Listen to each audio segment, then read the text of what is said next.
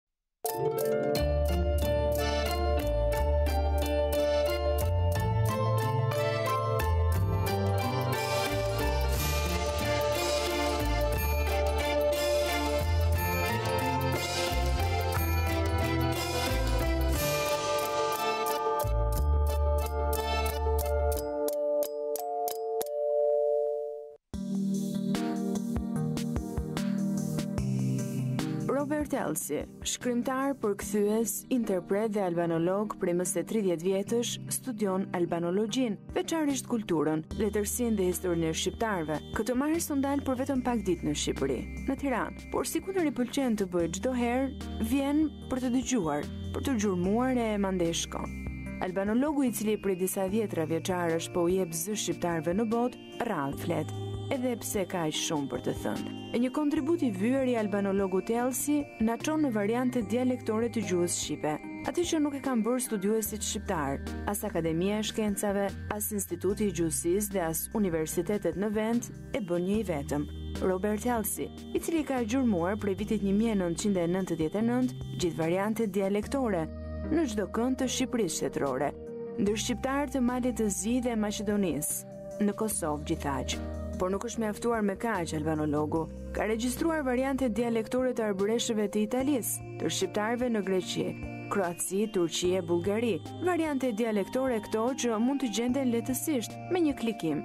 E ne shqiptarët e shekullit të ri mund të dëgjojmë, mund të njohim gjuhën tonë. Një pasuri gjuhësore kjo për të cilën albanologu Elsi frikohet se do të zhduket.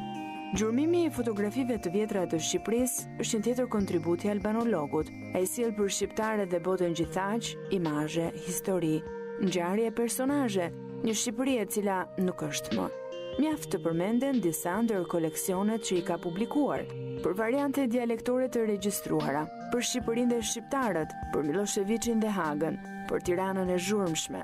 Albanologu Robert Elsi rrëfehet në vijim. Profesor, jeni në Tiranë, fakt ishit në Tiranë pak ditë më parë me studentët e historisë dhe pedagogët për historinë gojore. Fakt një disiplinë që për Shqipërinë është e largët, por që Ju thoni se është shumë e rëndësishme. Cila është rëndësia e dëshmimit, e kujtesës përmes këtij procesi që ne nuk e njohim? Për mua ka më shumë rëndësi në Shqipëri se sa në vendet e tjera, sepse burime të shkruar janë të pakta. Shqipëria nuk ka një traditë të gjatë shkrimi. Historia e Shqipërisë shkruar nga të huajt, jo nga shqiptarët, por ka shumë kujtesë kolektive në popullin shqiptar. Edhe duhet të shfrytëzojmë edhe kujtesën e njerëzve që të plotësojmë historinë e shkruar. Ka shumë për të bërë që mund të bëhet, sigurisht, për të plotësuar memorien kolektive të popullit. Përndryshe, historia është zhdukur. Çfarë donit të thoshit kur thatë që historianët shqiptarë në fakt janë memec?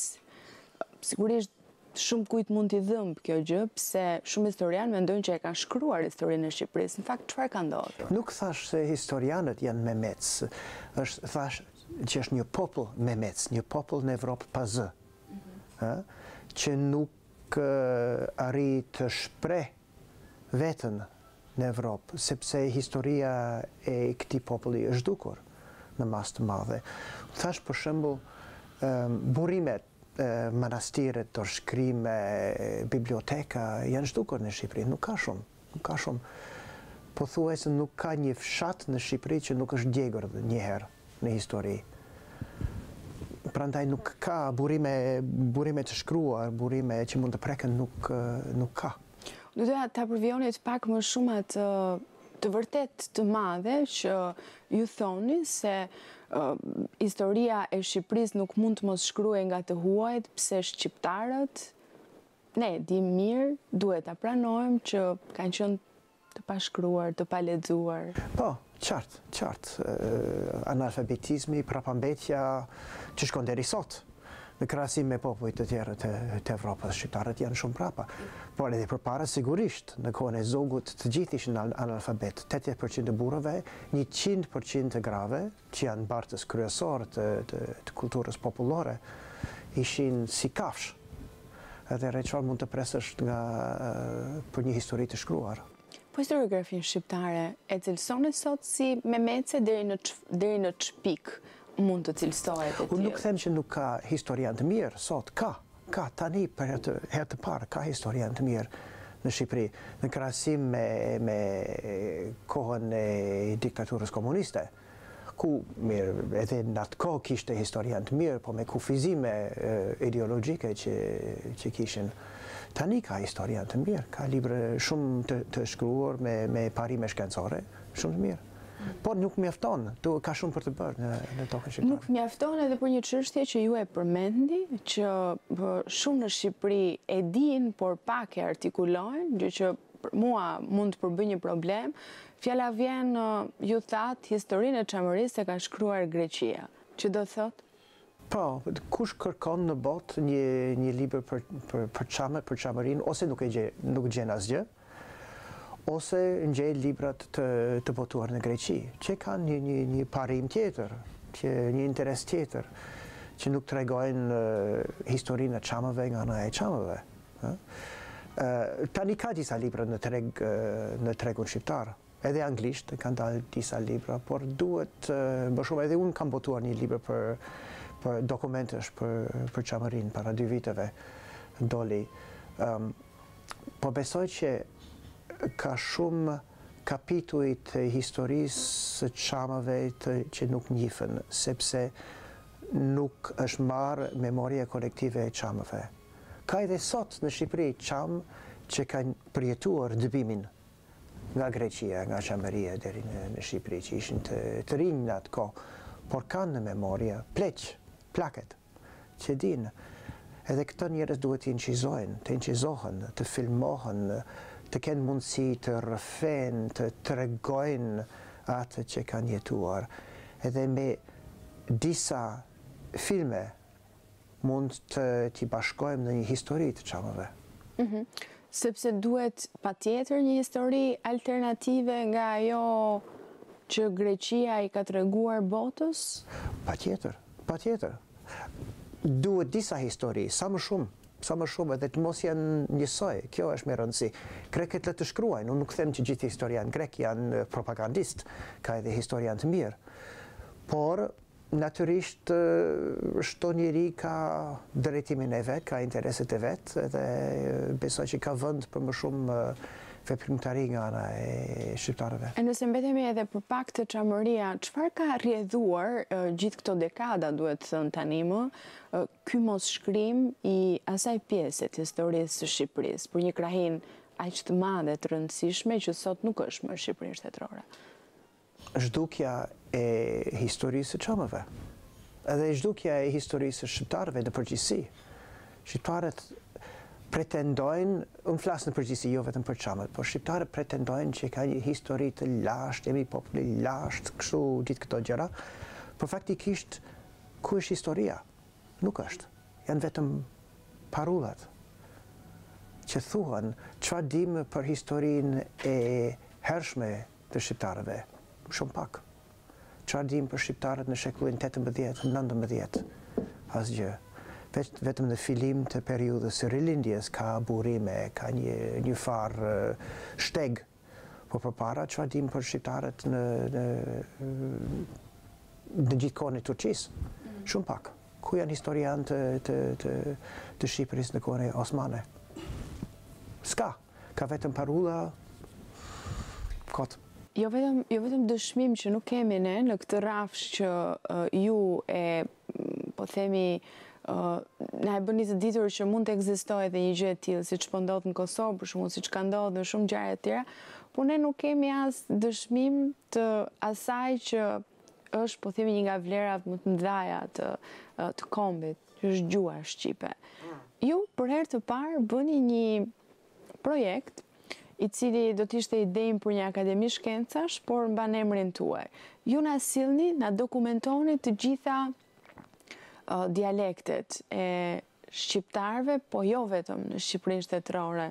E kjo mund të jetë një meritë edhe më e madhe. Si shkuat në këtë ide? Çfarë ju ngacmoi aq fort që të shkonit në një projekt të tillë? Po, mua gjithmonë më kanë interesuar dialektet, variantet të gjuhës shqipe të, të folur. Duke qenë se mësova shqip, më është dashur të mësoj të kuptoj edhe shqiptare nga, nga pjesët e të ndryshme të, të, të botës shqiptare dhe pashë që kishte shumë variante. Edhe i fillova të, të interesohesha, dhe mendova që të të incizoj njerëz. Si flasin sot, si flasin sot. Unë nuk jam dialektolog, gjuhëtar i mirëfilltë, po më intereson të dëgjoj si flasin shqiptarët në në në pika të ndryshme të botës shqiptare. Edhe fillova në vitin nëntëdhjetë e nëntë me projektin me incizime, Incizimet e parë janë kryer gjatë luftës së Kosovës me refugjatë nga Kosova që ishin këtu në në Tiranë. Incizuam disa. Flisnin për traumat që që kishin, kuptohet, dhe pastaj me çdo udhëtim që që kam bërë në Shqipëri, kam marrë një aparat incizimi me vete. Edhe kemi bredhur malet e Shqipërisë, kemi folur me shumë çobanë. Kjo është shumë e bukur, çobanët, sepse kanë një gjuhë të të mirëfilltë, nuk është ndikuar nga gjuha letrare, flasin si flasin. Edhe shpeshherë jemi ndalur në rrugë ë me vozitësin tim, ë shoferi edhe edhe unë edhe flisnim me një një çoban për çmimin e deleve. Edhe ai fillon, edhe flet, flet, flet, flet, flet për politikanët, shan politik kanë, shan gjithë botën pakënaqësi o jemi të varfër nuk na bëjnë kështu kështu kështu dhe mua më në fakt më interesoi vetëm gjuha në atë kohë. Në fakt ty nuk të interesoi fare ajo që tha. E, fare, fare. Në fillim nuk më interesoi atë që që tha, më interesoi si e se si e tha. Por tani kur i dëgjoj këto incizime, janë shumë interesant. Disa janë shumë shumë interesantë, nga çfarë thonë, ë? Gjithashtu, edhe kam kryer incizime në veri, në jug, pastaj në Kosovë, në Malin e Zi, Maqedoni, Greqi, Itali, po nuk e kam kryer gjithë vetë, disa i kam marrë prej prej të tjerëve, por ka ka histori shumë të bukur. Për çfarë historish flisni, sepse ne në fakt kur në pyetje janë dialektet, ne nuk është se dim shumë. Nuk na kanë mësuar shumë për dialektet, veç atij nga vim vetë dhe atë që na mësojnë në shkollë. Si është të prekësh dialektet e Shqipërisë? Ndeshen kaq shumë dialekte në në në vende të tjera apo mund të jetë dhe një nga rastet e veçanta në Shqipëri? Po ka ka variante, në fakt ka vetëm dy dialekte siç themi, ka gegnisht dhe toskërisht si dialekt. Të tjerët janë variante dialektore, por ka ndryshime shumë në botën shqiptare. Një njeri nga Podujeva takohet me një me një shqiptar të të Greqisë, të Peloponezit, që flet arbërisht, a kuptojnë njëri-tjetrin? Nuk besoj. Një arbëresh të Italisë, a kuptohet? Edhe ju e keni pasur të vështirë me ç'di ta kuptoni një arbëresh të Italisë. Shumë, me arbëreshët kisha shumë të vështirë në fillim. Nuk e dija, sinqerisht nuk e dija nëse flisnin italisht apo shqip. Dëgjova vetëm diçka, tani kur e dëgjoj incizimet, ku jam pak thelluar, tani e kuptoj. E kuptoj arbëreshët, por në fillim fare, as kosovarët nuk e kuptova në fillim. Ku keni gjetur, o ku janë gjetjet tuaja më interesante në variantet tona dialektore?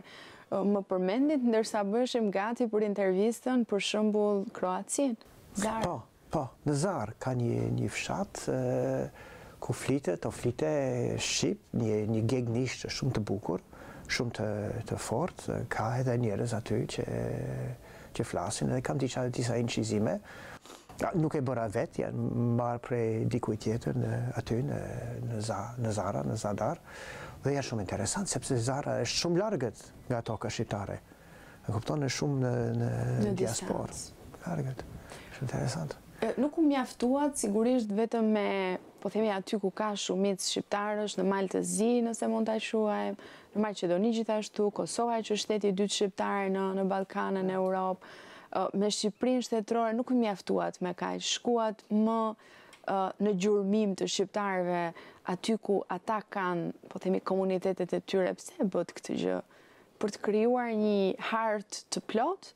Po, po, sa më të plotë, natyrisht nuk do të jetë kurrë e plotë, por unë doja që të prezantoj gjuhën shqipe jo vetëm këtu në Shqipëri, por edhe kudo që flitet. Kudo. Natyrisht jo në në vendet të diasporës ku shqiptarët kanë shkuar para 10 viteve, para 20 viteve, jo në Amerikë, në Gjermani, në Zvicër, por Në vendet ku shqipja është gjuhë e komuniteteve, e komuniteteve që të lindur aty, ka për shembull në Bullgari, Greqi, Turqi, Ukrainë, ka vende të ndryshme. Si linguist tani, pse është e rëndësishme të bëhet një gjë e tillë? Çfarë na thot ne shqiptarëve apo botës tek e fundit të vitit dy mijë e gjashtëmbëdhjetë një regjistrim i tillë, një dokumentim dhe përjetësim i varianteve dialektore? Them që pas tridhjetë viteve, po të takohemi, nëse jemi gjallë, do të jetë i qartë, sepse gjithë këto dialekte do të jenë të zhdukur. Sigurisht. Edhe di shqiptarët pas 30 viteve do të mundohen të flasin si i Tiranës. E keni bindje këtë? Po, besoj se po. Ka një presion shumë të fort të të rinjë që flasin njësoj. Jo vetëm në Shqipëri, në, në gjithë vendet e Evropës. Njerëzit duan në Francë, të gjithë duan në flasin si Paris. E kupton, sepse Parisi është Paris, të tjerët janë fshatarë. Nuk jemi fshatarë. Edhe në Shqipëri e njëjtë gjë, të rinjët duan të flasin sa më shumë si si në kryeqytet. Po çfarë humb xhanëm kjo bota jonë në qoftë se ndodh kjo gjë? Po është një një varfërizimi është tmerrshëm sepse gjuha e pasur shqipe me variante të ndryshme, me variante shumë shumë të bukur, po zhduken, edhe do të zhduken, sigurisht do të zhduken. Kështu që përpjekja ime është vetëm për të të ruajtur atë që, që është sot. Mm. Uh, jemi te, te gjuha e dhe s'mund mos të të pyes, nga 1972, po të paktën pas vitit 1990, Diskutohet shumë për standardin, diskutohet shumë si u bë njësimi i gjuhës dhe ka diskutime për ndryshime. Nuk di cili është, po themi, mendimi juaj në gjithë këtë debat, çfarë duhet të ndodhë me këtë shqipen tonë të sotme? Mu më pyesin shpesh këtë, por nuk kam mendim, unë besoj që është punë e shqiptarëve të vendosin për gjuhën e vet, nuk kam asnjë mendim. Po ju si përdorues i gjuhës shqipe? Si përdorues, unë kam mësuar gjuhën letrare, kam mësuar të kuptoj edhe gegnisht, edhe variante të ndryshme, por është punë e shqiptarëve se si e përdorin, si nëse krijohet një një variant të dytë, gegnisht si si si gjuhë standard të dytë, është punë e shqiptarëve të të vendosin vetë. Natyrisht ka një avantazh që të ketë një gjuhë të përbashkët për të gjithë, një variant që Që respektohet nga të gjithë për për për shkrimin, për televizionin, për mediat, është më kollaj kështu, por nëse, unë kuptoj që shumë njerëz në në në tokët gege janë të kënaq, të pakënaqur sepse gjuha e tyre është shumë larg standardit dhe kanë të vështirë të shkruajnë në atë gjuhë apo të komunikojnë, të të detyrohen të komunikojnë në gjuhën standarde, që është larg pse të mos përdorin gjuhën e tyre. Unë i kuptoj shumë mirë. E, i i kupton dhe i mirëkupton dhe po themi e përligj në një farë mënyre gjithë pakënaqësinë e tyre? Po, po, po, po. E kuptoj, por nuk kam një një zgjidhje, nuk di nëse është një zgjidhje që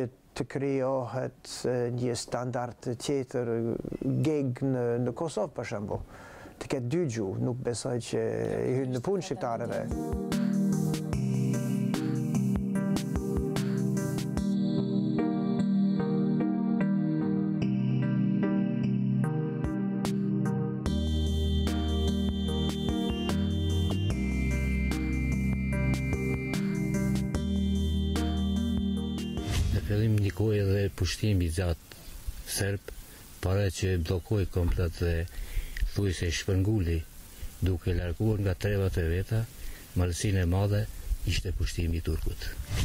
Nuk i lejoheshin me hi burrat këtu, vetëm gratë. U prushin për të hangër. Është një shtatë kilometra me makinë. Pastaj do ecnin n'kom deri në Rrogam. Ish koha e Enver Hoxhës. I del këta i shilët bashkuan mamun se dem tuka i del përpara këtij lumjonit. Kim me dele përmes asfaltit. I kam të martum tanë me fëmijë. Jan me kalamaj te tan. Ti më jap disa herë këto për të martësh ma ke marrë se vijnë të gjithë. Në Kukës e kanë venin keq këtu atje e kanë venin keq e ne s'kishte ku të kaloshe rrugë makine jo. Vetë quhem Pirin Kola. Kam le në Lezhë në vitin një mijë e nëntëqind e katërdhjetë e nëntë. Ai e një qen ose një çoban. Mali asht i veshur. Nuk shikohet. Njani ujku se ai ujku është hajdut.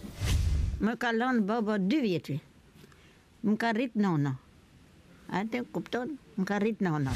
Kena marrë pjesë në luftën çlirimtare vitin një mijë e nëntëqind e dyzet e katër. Jo, i la në kasolle dhe e bëmë vetë kasolle, u dha njëqind mijë lekë. U ra në fatkeqësi këtyre pastaj. Kur e zbulonte vjerri, ajo do fillonte të bënte temena prapë. Vishin gjymin përpara. Gjymat janë këto, ato lloj gjashtë dikë gak. Çfarë të them unë të malteze. Trego diçka. Ujë s'ka hiç nje. Ujë mali thatë zero. Zero është nje fjalë për ujë. Unë komuniste kam qenë. Kam vajtur në mbledhje, unë kam shkuar. E kush e di ku të nxjerrë ajo. Rruga që kalon hop e vetë e futesh brenda. Organizimet fetare janë krijuar me rastin e festave fetare. Para është hashureja, që bënet për të përkujtuar ngjarjen e Kerbelasë. Po, ka, kalaja ka qenë që me shekuj. Ne në këtë fshat jemi, kemi vazhduar në blegtori, që në kohët e mëparshme, në kohët e kooperativës të monizmit që kemi patur, po nuk kemi për blegtori. Flasim gjuhën çame. Familjarisht me të. Kanina ndodhet afër Vlorës.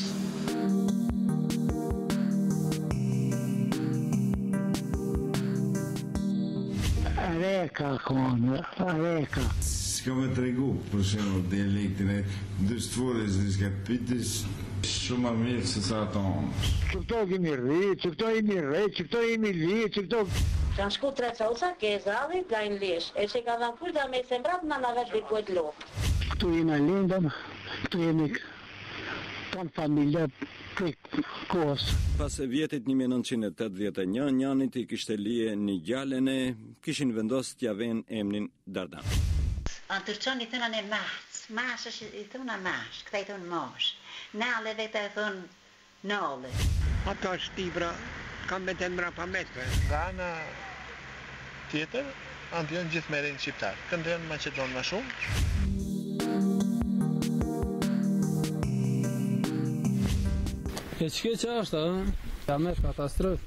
Janë kanë mbi njëqind e pesëdhjetë shpi të të shotin të, të ashtë e së me në dy shpia e.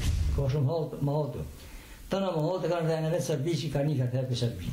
E gjatë luftës tash me një mijë e nëntëqind e nëntëdhjetë e tetën, unë këmë qenë së në një këmë përru.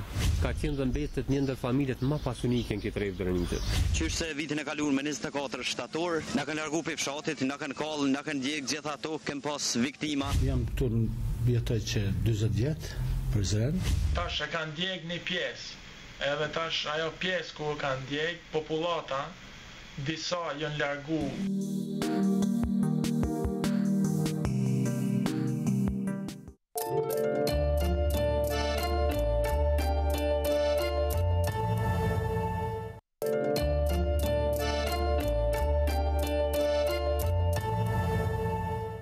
Jemi te gjuha, do të qëndrojmë edhe pak tek gjuha që ju pëlqeni më shumë, uh, tek ajo që lexoni. Unë ndërsa kërkoja mbi ju, uh, gjej një frazë që gjuha më e bukur shqipe për ju është ajo e Kadaresë.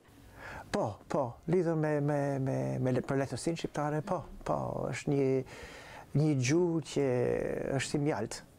ë lexohet shumë shumë bukur, ka një gjuhë një gjuhë shumë të të përpunuar dhe dhe të bukur, dhe të habitshme herë pas here. Mhm. Po, Kadaren ju e lexoni për kënaqësi, sigurisht edhe e keni përkthyer, po nga ana tjetër me shqipen nuk jeni takuar përmes Kadaresë. Jo, jo, jo, jo, jo, është vetëm një autor, kam lexuar shumë autorë dhe i kam përkthyer shumë shumë autorë shqiptarë, poetë, prozatorë në kalimin e kohës. I kam vendosur të gjithë përkthimet e mia në, në faqen time të internetit, që të jenë në dispozicion të të, të gjithëve që kanë interes. Edhe. Unë nuk mund mos të të pyes për Fishtën, sepse Fishta njihet botërisht prej jush tanimë. Aha, po s'e di, mbase. Lauta e Malësisë mbetet Lauta e Malësisë edhe për ne, por tanimë edhe për për ata që mund ta lexojnë në anglisht, ndoshta edhe në gjuhë të tjera. E kishte, do kishte vështirësi ekstreme përkthimi i i një shqipeje që Edhe ne shqiptarët vetë nuk e kuptojnë sot? Vështirë ishte, shumë i vështirë ishte përkthimi. Unë fillova Fishtën me një kokëfortësi që kam herë pas here. Në fillim e kisha shumë të vështirë, këngën e parë shkoi shumë ngadalë, por me kalimin e kohës mësohesh me, me gjuhën e autorit. Fishta nuk është një autor shumë kolaj për të përkthyer, sepse gjuha është, është jo vetëm gjuha, por kulturën e veriut, kulturën e Shkodrës, kulturën gege që i mban dhe duhet të kuptosh shumë lidhjet, si mendojnë malësorët. Dhe nuk jam malësor, nuk jam geg, nuk jam nga veriu, është për mua një botë e huaj. Edhe e kisha të vështirë të kuptoj shpesh ku e kishte fjalën. Çfarë donte? Përveç kësaj, kishte shumë probleme për të gjetur, kisha shumë probleme për të gjetur një fjalë anglisht apo një shprehje anglisht që korrespondon, sepse nuk kishte, nuk kishte. Të, të, të kërkoj diçka nga mesjeta nuk shkon, sepse Fishta është shekulli 20, 19. Shumë probleme, por e kapërceva, doli, doli, doli, doli përkthimi. Sigurisht një pjesë e mirë e veprimtarisë tuaj e që ju bën kaq të lidhur me Shqipërinë dhe sigurisht të dashur për shumëkënd që e njeh kulturën shqiptare është ajo që ju bëni për kulturën shqiptare për t'ia treguar atë botës. Është një mision i vështirë në këto ditë që jetojmë, mbajmë parasysh që nuk është kaq lehtë të botosh jashtë, nuk është lehtë të përkthesh Nuk është lehtë të gjesh rrugën për të shkuar tek një lexues kapriçoz, nëse mund ta quajmë të tillë, atë të madhin, lexuesin e gjuhëve të mëdha. Po, po, po, ka disa probleme. Një problem është bota angleze është shumë e madhe edhe nuk ka shumë interes për kultura të, të tjera, edhe për një kulturë të vogël, siç është kultura shqiptare, është të vështirë për të të për të depërtuar për të krijuar një interes për një një një popull që nuk njihet por bëhet me përpjekje jo vetëm nga unë por edhe nga nga të tjerët përpjekje të cilat institucionale nuk kanë qenë apo jo Po duhet të them zyrtare. Sigurisht Ministria e Kulturës bën atë që mund të bëjë, por është një luftë shumë i madh. Ëh, edhe është një luftë me me hapa. Ë them që mund të bëhet më shumë sigurisht për të bërë që për shembull të letërsia shqiptare të të bëhet më e njohur, të ketë më shumë përkthyes të letërsisë shqiptare. Ë historia shqiptare, po varet nga botimet, varet nga njerëzit, po kryesisht them që nuk ka shumë njerëz që që dinë shqip, të huaj që dinë shqip sa të të përkthejnë veprat e shqiptarëve, ë? T'i japin shqiptarëve një zë. Mm. Një zë që i mungon, që një zë që i mungon, memec, popull memec.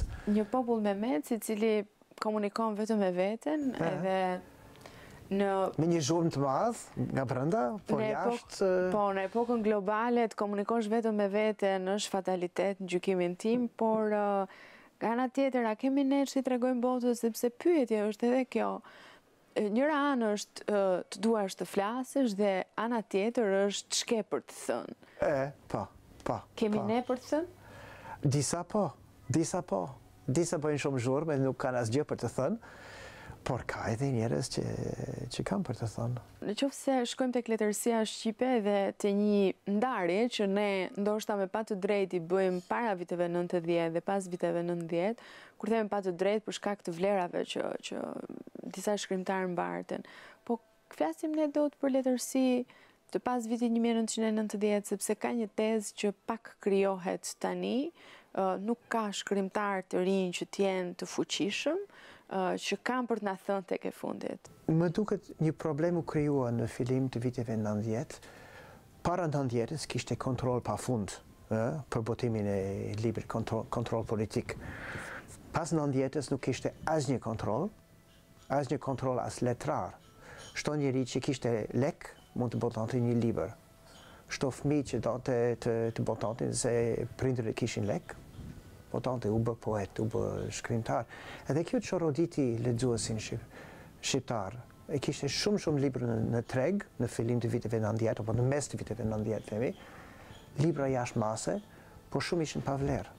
Edhe ku të orientohet lexuesi shqiptar. Përveç kësaj, kritikë letrare nuk ka në Shqipëri, nuk ka një traditë të një një një kritike letrare fare në gazetat në vendet e tjera zakonisht ka kritikë letrarë me njohuri të thellë edhe që shkruajnë për librat botimet e fundit por këtu sigurisht ka të tillë por jo në atë cilësi zakonisht e shof apo e dyshoj Nëse filani shkruan mirë për një libër, ose e ka komshi, ose e ka farefis. Domethënë, ose është një lidhje parash, kush e di. Por shpesh librat reklamohen, jashtë mase, të nesërmen zhduken fare, nuk ka jehonë, dhe bëhet i dyshimt. Kështu që lexuesi shqiptar nuk ka shumë besim ndaj kritikës shqiptare që ka. Çfarë, çfarë na sjell ne kjo sot, sepse themi që është periudhë tranzicioni, po dreqi ta hajë duket sikur po zgjat shumë ky tranzicion. Jemi një çerek shekulli pas rënies së komunizmit, në histori është një sekondë, por janë ca vite për shqiptarët që kanë jetuar gjatë kësaj periudhe. Çfarë na sjell kjo gjë sot? Kjo që ju thoni, mungesa e kritikës, themi zhurma Pa, pa, pa asgjë brenda, domethënë, çfarë ekuilibrash prish në kulturën tonë kombëtare? Këtë mund të dini ju më mirë se unë. Unë veç vëzhgoj nga, nga jashtë dhe e shoh atë që e thoni ju, një zhurmë të madhe në një kafaz pre, prej xhami. Ë?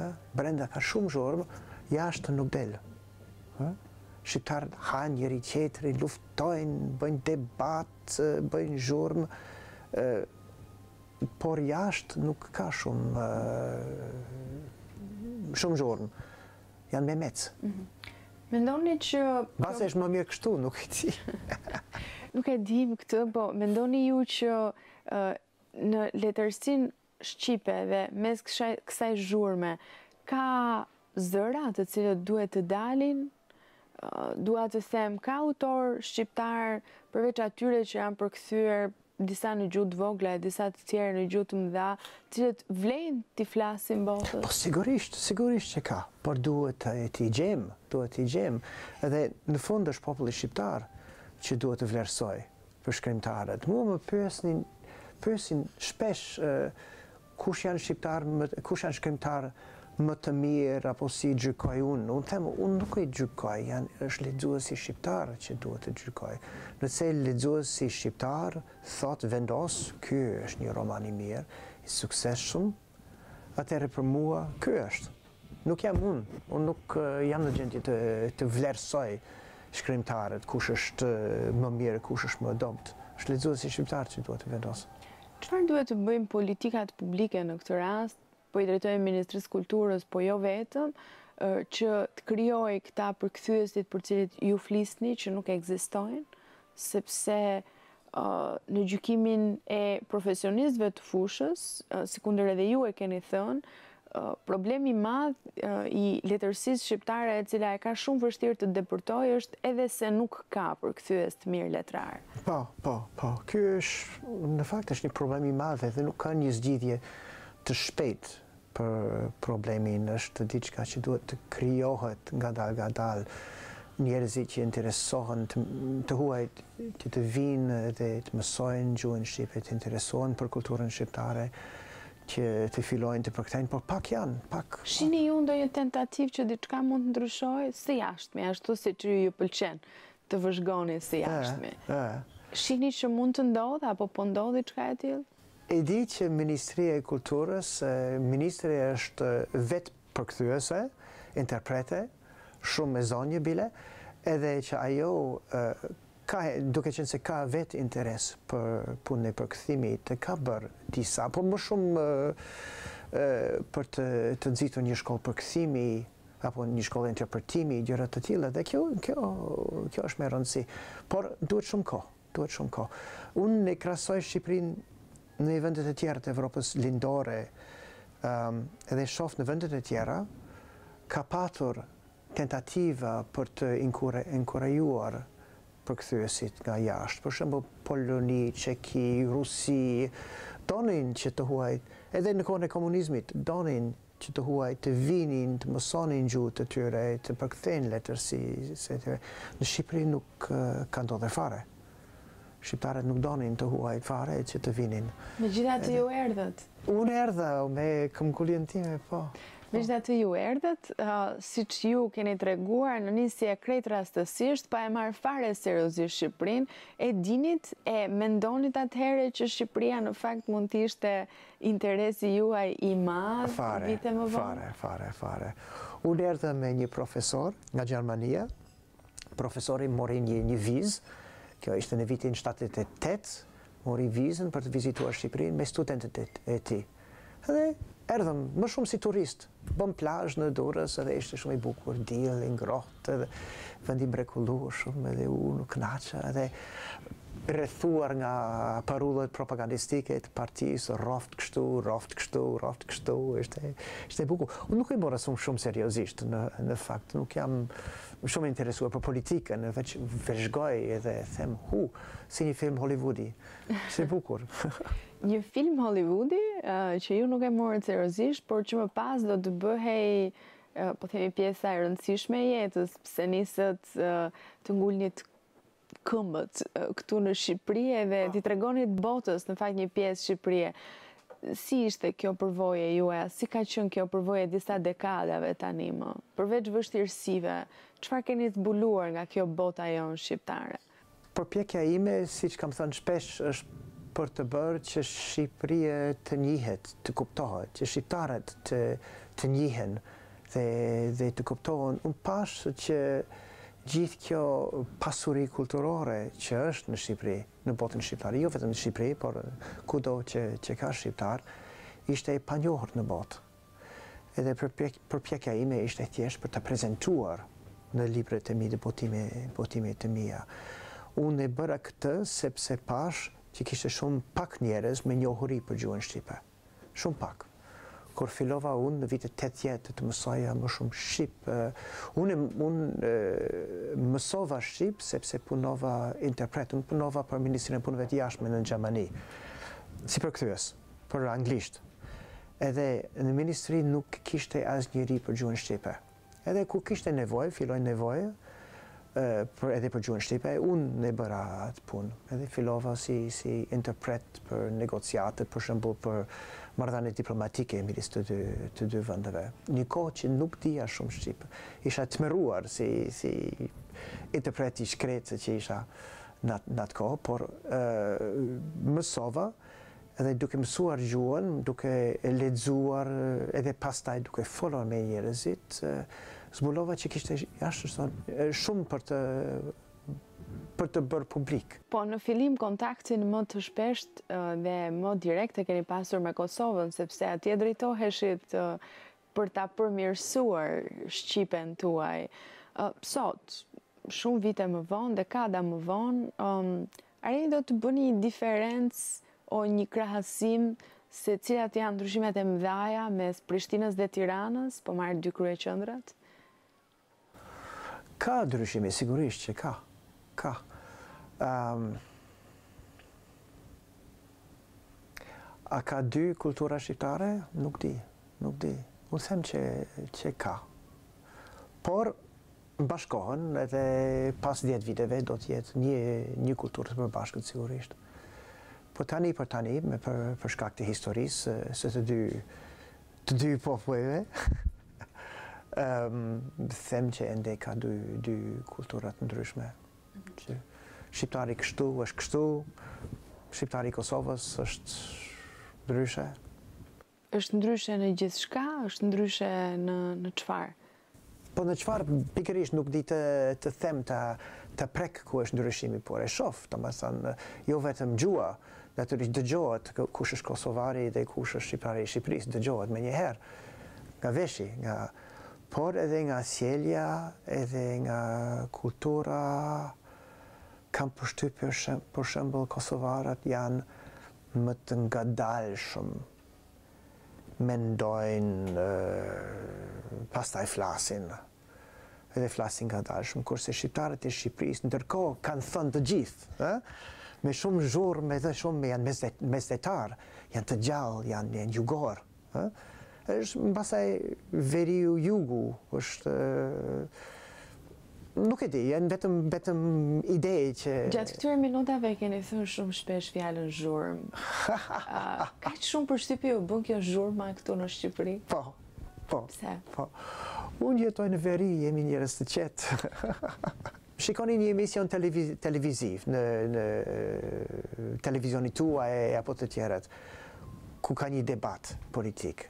A ka një moment ku nuk ka të paktën dy apo apo tre persona që flasin njëkohësisht? Unë nuk e kuptoj, nuk e di, ju arrini të kuptoni sepse jeni mësuar me dy pers apo tre persona që flasin njëkohësisht. Unë nuk e kuptoj. Unë duhet të pres një që flet, pastaj të të flas tjetrin, pastaj të tretin, edhe i kuptoj. Por nëse janë të gjithë njësoj, Ju keni një aft, këtë aftësi të, të kuptoni që ka një komunikim ku të gjithë flasin njëkohësisht. Kemi aftësi apo problem? Si, si e që? Pa, arrini të, të, të bëni.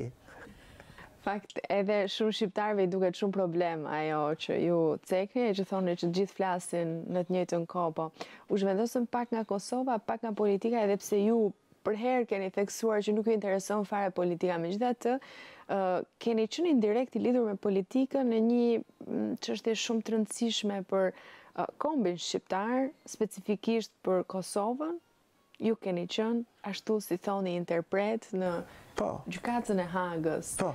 Ruani kujtime të hidhura, të këqija, si ka qenë ajo përvojë për ju? Edhe ju ka bërë ndoshta të kuptoni diçka tjetër për shqiptarët apo ka qenë një punë dhe kaq?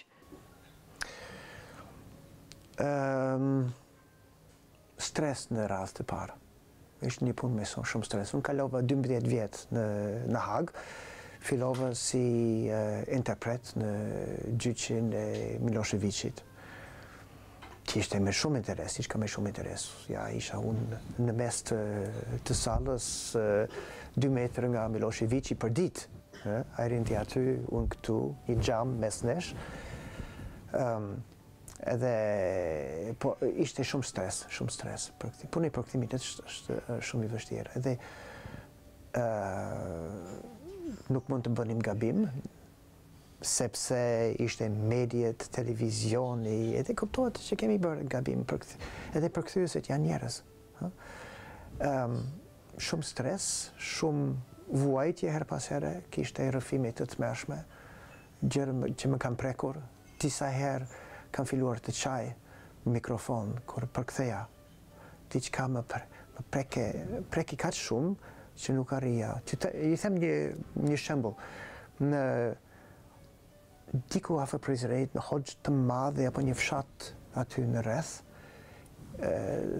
forcat serbe kanë marrë gjithë shqiptarët, gjithë burrët, te një një lum diku i kanë rreshtur aty dhe i kanë urdhëruar që të këndojnë këngët nacionaliste serbe dhe të bëjnë kështu siç e kanë serbët dhe njëri nuk e bëri edhe e kanë qëlluar serbët e kanë qëlluar mbi të ai ra në lum në ujë edhe u mbyt të tjerët nuk guxonin ta ta nxjerrnin dhe arsye ishte ky ishte memec edhe nuk kuptoi Edhe kur dëgjova këtë fillova të qaja me lot edhe tani më emocionon këtë tragjedi e tmerrshme edhe nuk arrija të, të punoja unë ish kisha mikrofon të hapur ha? edhe unë i dhashë mikrofonin kolegut edhe filloj edhe, edhe, edhe qava Tmerr, tmerr gjërat, edhe kishin ka ndodhur shpesh. Edhe pastaj, rrëfimet të, të tjera, mës, u mësova, mësova edhe dëgjova, u, edhe nuk më, më bëri përshtypje më vonë. Po në fillim në muajt e parë ishte i vështirë. Mirë, um, lëmë Hagën pas për të folur për një tjetër pasion që mund të duket qartë në qoftë se kërkon pak mbi ju, fotografitë e vjetra. Mm, mm. Ju sillni një Shqipëri siç ne nuk e njohim, siç historianët tanë nuk na e kanë treguar, siç kërkuesit tanë nuk na e kanë sjellë në fakt.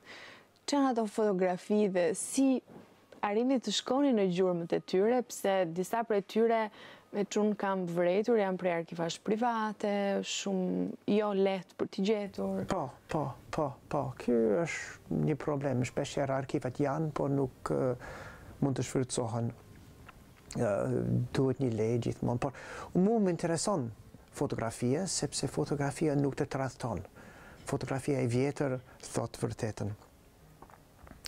Kurse fjalë janë fjalë, ë?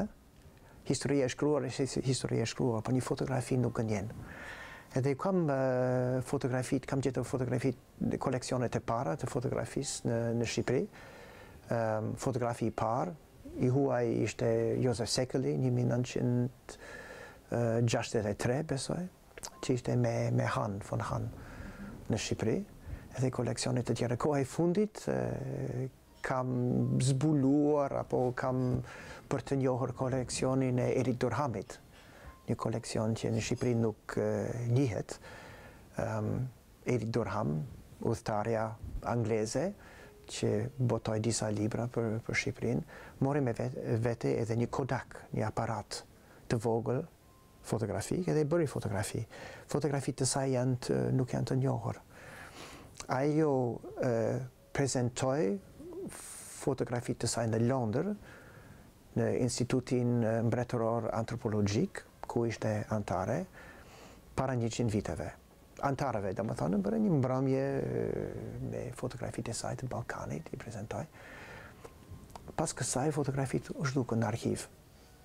Dhe unë pata fat në në shkurt të këtij viti të shkoj në Londër edhe të marr fotografitë të Edith Durhamit dhe t'i prezantoj pas njëqind viteve në të njëjtën vend, në Institutin Mbretëror Antropologjik, patëm një një mbrëmje me fotografitë të Po ishte takimi juaj me Edith Durhamin. Po, po, po, shumë bukur. Tani do të përpiqemi të botojmë një album me fotografitë e saj, disa prej tyre do të vendos në website-in tim pas pak, mbase në, në prill apo në maj, kam 25 apo 30 fotografi të saj nga më të mirat dhe do t'i bëjmë të njohur. Mua po vjen keq që po vijmë drejt fundit intervistës dhe dua t'ju pyes çfarë po rezervoni ende për Shqipërinë tani, dua të them me çfarë jeni duke punuar? O kam projekte të të ndryshme, nuk di nëse realizohen apo mos realizohen, kështu që nuk flas për projekte të të ardhmes. Tani për tani po bëj një një antologji të përrallave popullore shqiptare gjermanisht. Kam botuar dy libra anglisht për me përrallat shqiptare, një me përrallat më të njohura në në Shqipëri koleksioni tjetër ishte koleksioni i Margaret Hasluckut antropologja skoceze tani bëj një koleksion gjermanisht jo jo përkthimi im janë përkthime të të Hanit Majerit të albanologët të, të njohur gjermanë dhe unë i mbledh dhe do të botoj si si libër kurse për projekte të tjera shohim Ju flisni për mediat shqiptare shumë rrallë, gati një herë në pesë vjet. Po, po. E kështu po. tani jemi pas pesë vjetësh që kemi intervistë bashkë. Në intervistën e fundit keni thënë që nuk do jetoja dot kurrë në Shqipëri, sepse Shqipëria është një vend gati osman ende. Vazhdoni të mendoni njësoj. Ose nuk e di nëse, a thash kështu? Kështu e ke thënë. Uh, uh, uh, uh. Jo, unë them që nuk jetoj në Shqipëri sepse jam pak njeri privat, dua jetën time private, nuk dua të jem person publik. Kam përshtypje nëse them Për shembull, nëse takohem me njeri në mëngjes edhe kam pak kollë që pasdite në anën tjetër të, të Tiranës dikush më përshëndet edhe më thotë, "A e dëgjove që ke kollë?" Që thashetheme, fjalë kudo dhe unë duhet të rri në në kabinën time në në në pyll në në fund të botës ku e kam qetësi. Edhe këtu në Tiranë sigurisht nuk ka qetësi. Dhe këtu nuk ka qetësi, po për Shqipërinë e për Tiranën veçmas të dy mijë e gjashtëmbëdhjetë-s, përveç shumë e zhurmshme, siç jeni kujdesur të na e thoni gjatë gjithë kohës, çfarë mendoni? Mendoni që është bërë një qytet më i mirë, më i keq, i pabanueshëm nuk di. Të gjithë, të gjithë, të gjithë këtë, më i mirë është sigurisht, më i bukur se kurrë, me një jetë të, të, të vrullshme, është më i keq, sepse ka ndotje e ambientit, ka vetëm makinë, ka zhurmë, nuk ka gjelbërim, shqiptarët do të jenë të kënaqur kur kanë prerë pemët e fundit dhe kanë vetëm beton kudo kudo, ë? Domethënë e shkatërrojnë këtë qytet. dhe do të jetë më keq në të ardhmen, kam përshtypje për arsye të, të mjedisit. Por, është të gjithë, është të gjithë, është një qytet i mrekullueshme. Unë, unë vij me, me shumë knaqësi këtu. Edhe besoj që jetohet mirë këtu, ata që, që kanë durim, që kanë nerva për të jetuar në Shqipëri, jetojnë shumë mirë. Pse kam përshtypjen që vjen me kënaqësi dhe ikën po me aq kënaqësi. Po, po, po, po. Po, kështu është. Unë vij për disa ditë, jam jam shumë mirë dhe gëzohem çdo herë që vij në Shqipëri, edhe në edhe në Tiranë. Faleminderit për kënaqësinë e bisedës. Me kënaqësi. Faleminderit.